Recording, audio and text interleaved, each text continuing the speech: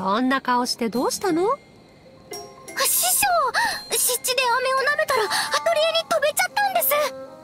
何当たり前のこと言ってるの？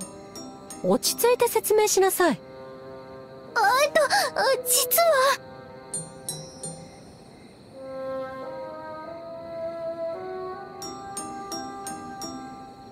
どうして飴が使えなくなっちゃったんでしょう？さあ正直この飴の仕組みってよくわからないのよね。師匠にもわからないんですか？まあいつでも使えると思わない方がいいかもしれないわね。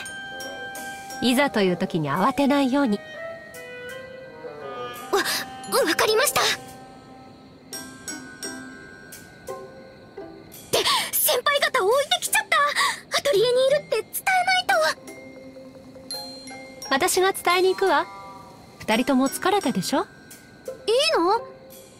頑張ってるみたいだしね。たまには師匠らしいところを見せないと。